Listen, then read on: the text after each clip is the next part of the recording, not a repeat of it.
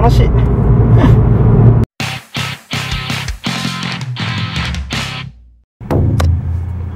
はい関つばでございます。前回の動画に引き続き今回もスイフトスポーツのレビューです。今回はね非常レビューですね。この関つばが実際に運転してどういった感じなのかっていうのをやっていきたいと思います。走りね。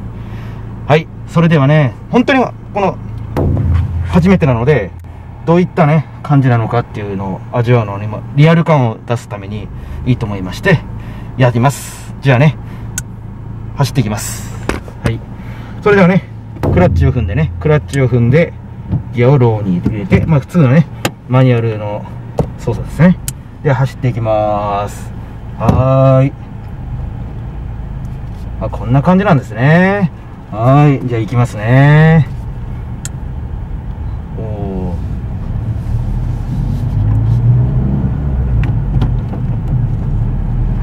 なるほどはーい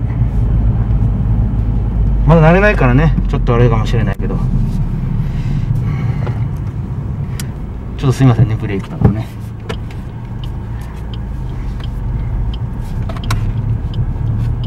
これ行ってみよう。か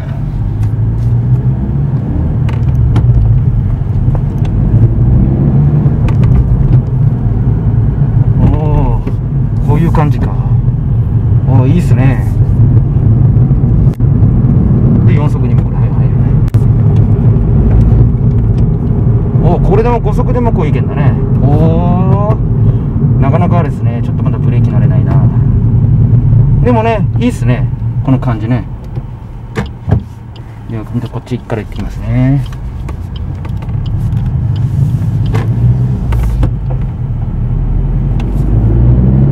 おおやっぱグッとこうね来ますねうーんなるほど了解了解はいやっぱりね走りね今ほんとほんと初めてですからね。初めてで運転してみてあの本当に速い。ちょっとまあ全然回してないですけど速いですね。本当に。でマニュアルやっぱ楽しいですね。でもこれねトヨタの IMT とはやっぱり違ってやっぱり運転者の技量が問われる車ですね。そういうの入ってないで本当のマニュアルですね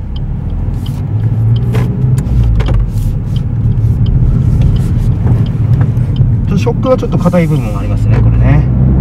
いきますよ。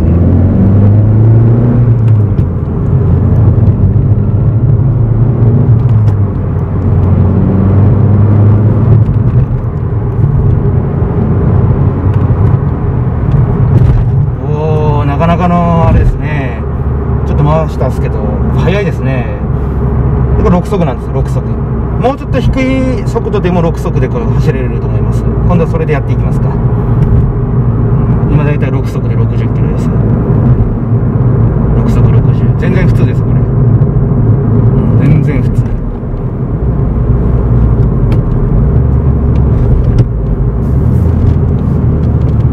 あーやっぱ楽しいな。マニュアルな。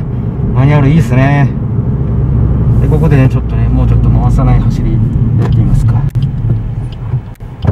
い OK ですやってみますねローセコサード4速5速でこれ50キロ6速全然大丈夫ですねで60キロこれでも全然普通に走れるんですよあいいっすね。6速マニュアル。でここから6速からぐーっと走っても全然いけるってことですね。スピード。こう。いいっすね。楽しいっすね。はい。うんうんうんうんマニュアル楽しいっすね。でこう結構ねここカーブあるんですけどちょっと試したいものがあるんですよ。これ4速ね。4速シフトで時速もうこれ30キロだね。30キロでどんな感じだ？ほらノッキングしないじゃないですかほら。ほら30でノッキングしないですよこれ。ほらノッキングしないです。全然ノッキングしないです。ほら全然ノッキングしないですよ。これ30キロ以下になってるんですこっからぐーっと行って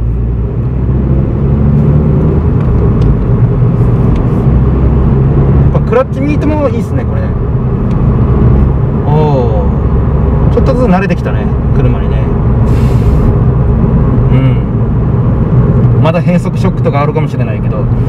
だんだんでもね慣れてきましたね。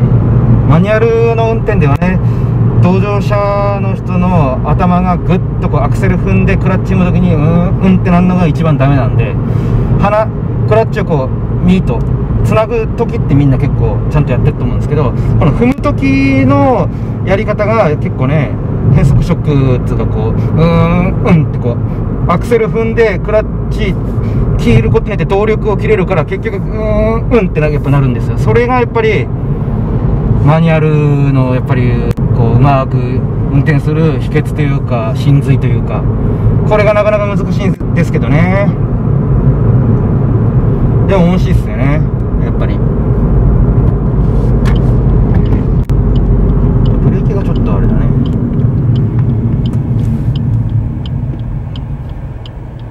今日ね。まだ発車してますね。でもこれここがねちょっと慣れましたね。もっと優しい運転してみるってますか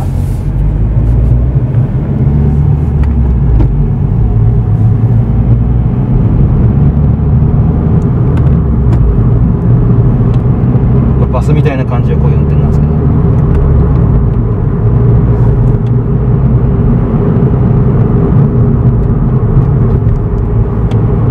あこういう運転もできるってことですね。了解了解。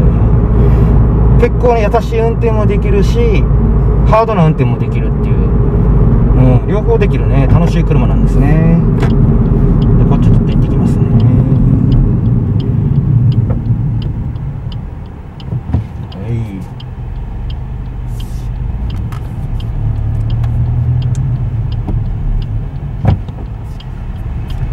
はいこれインスタの心配これないですね。やっぱり低速度力あるので。全然。うんなんか慣れてきたっすよ。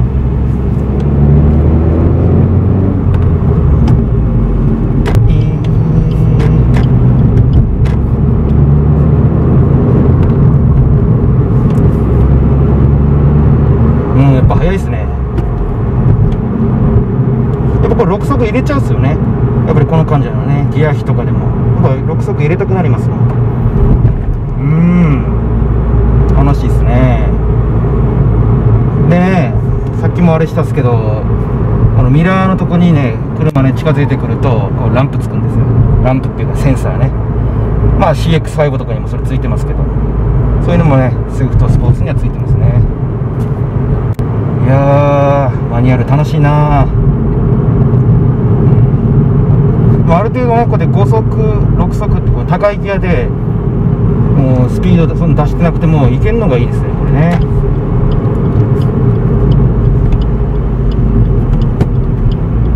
これ4速で回るですかね。4速で回ってみますね。ほら普通ならここねサードセコードがこれ4速でいけるんですよこれ。なんかねバスみたいですね。ノッキングしないんですよ。結構低速トルク強いですよこれ。あのー、排気量がない車ってギア比でごまかしてる部分が結構あるんですけどスイフトはそれがないようですねこれね。そういうんじゃないです。だって回せ下も下の速度域のギアも強ければ上も結構ぐーっとうまく結構強いですからね。こういうふうにね。ずっと5速で走るっていうのもいいかもしれないけど、ま、6速やっぱ使っちゃうねこれねやっぱりね。うん。どうなんだろう。6速ってねあんま入れる人いるのかな。どうなんだろう。僕はこうやっぱり入れちゃいますね。オーナーの人もやっぱり入れちゃう方なので、まあ、トラックとかね運転した時も。僕もバスとかでもやっぱり一番の上のギアで走ってしまいますもんね。まあセレガーラの A09C でも7速使っちゃいますからね。まああれはでも力ないからねどうかなと思う部分もありますけど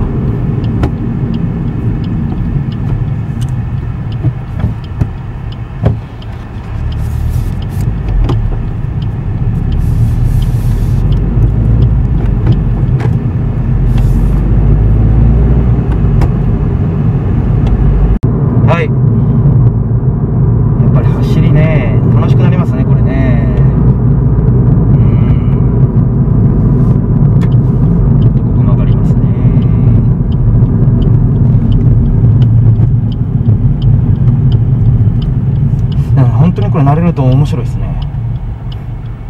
これはいい車だわ。ギアもねすごい入りやすいっす。うん。すごい入りやすくて。全然こうやって吹かさなくてもクラッチだけでいけないですもんこれ。ハンクラなんか絶対使うもんねえですこれ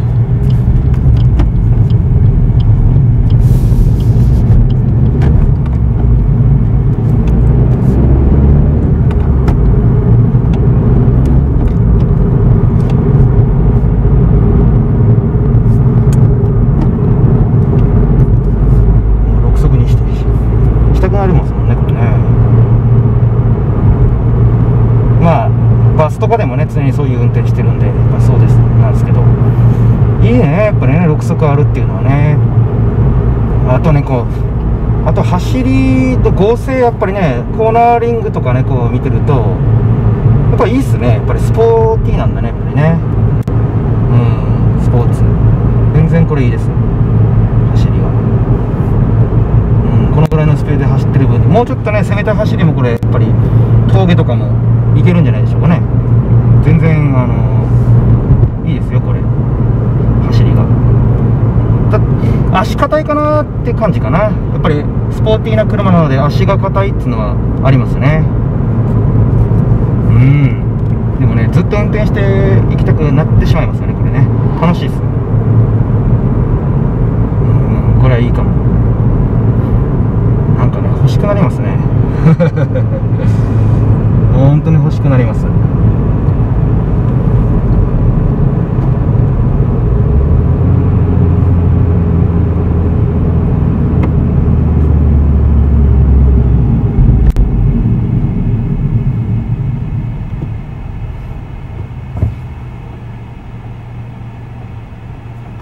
全然これ演出しないですからね。アクセル踏んでなくても。全然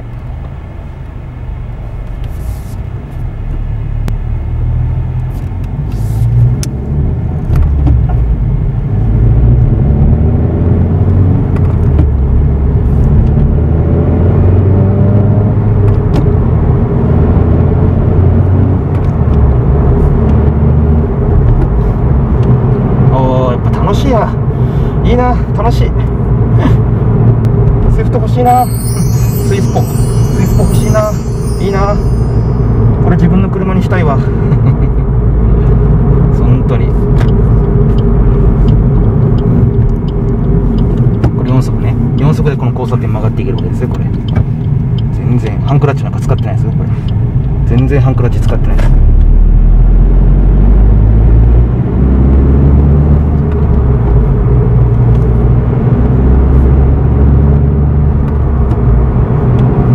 いね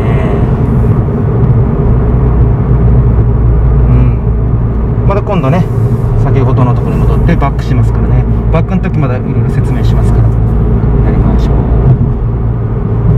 いやーいいですねしか言ってないね。もういいですねしか言えないんだもんねこれね。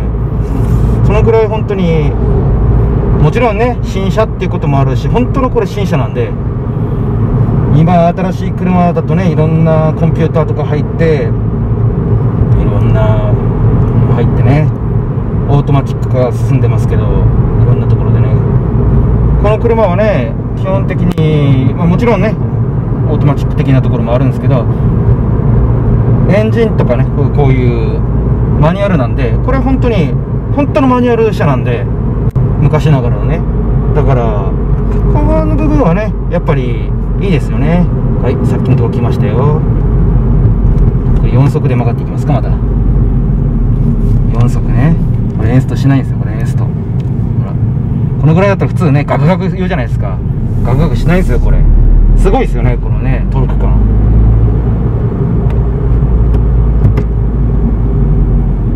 時速30キロですよ30キロ。30キロ。25キロぐらいかな。ほら25キロぐらいでもガクガクしないこれ何キロぐらいだとガクガクしないんだろう。あーでも20キロぐらいになっていくとちょっと怪しくなってくるんだな。でも25ぐらいだと大丈夫なんだね。すごいね。そこからアクセル踏むとこれ5速ですよ。6速。もう一個もう一度7速入れ入れちゃいそうトラックみたいに。のぐらいのギア比の感覚ですねうんいいかもいいね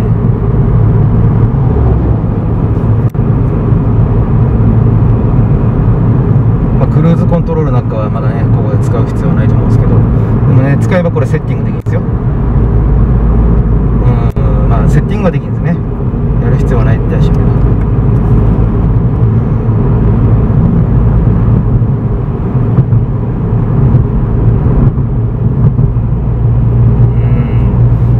こういうね素晴らしいいい道路を走るとねやっぱりスピード出したくなる車ですよねこれ蔵王のエコーラインとかねかこれで走ったら最高でしょうね。パワーもあるしね。あなんかブレーキに反応しましたね今ねうー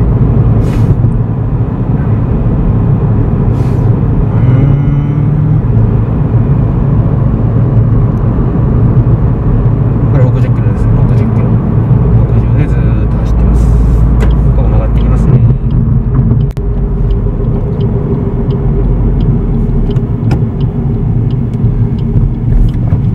4速ですこれ4速半クラしてないですよ4速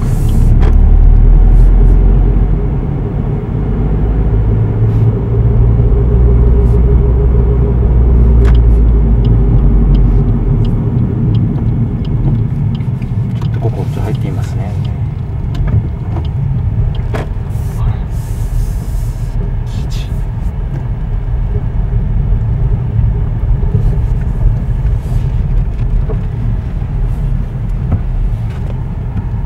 ちょっとねバックやってみますね。今からねバックね。バックはバック先ほどもさっき前の動画でも言った通り上に上げてでこういうふうになるわけですよ。まあねこれバックをつけるからまあ普通にね吹かさなくても全然いきますこれ。こういうふうに後ろのね見ればほら全然大丈夫ですけど。すごいでしょこれ。まあこの辺にしておきますか。まあ全然ねもっといけますけど。全然ねほら障害物ね。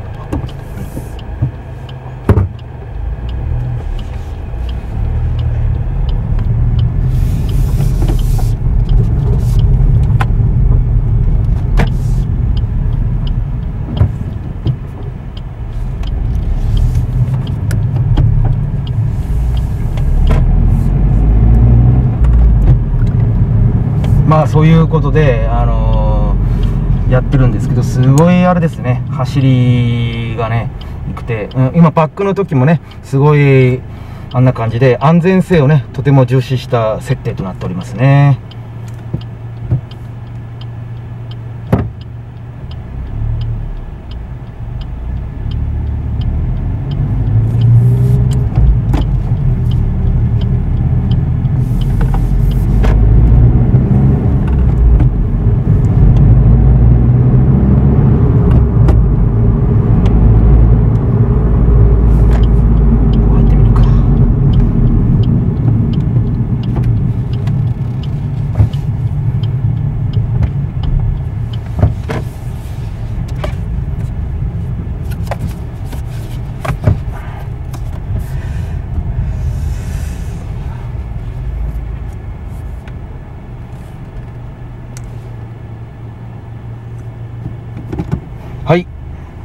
かがでしたでしょうか？スイフトスポーツの走り最高でしたね。すごく良かったです。もうなんていうのかね爽快感抜群でしたね。もう欲しくなりますねこの車ね。すごく欲しくなりました。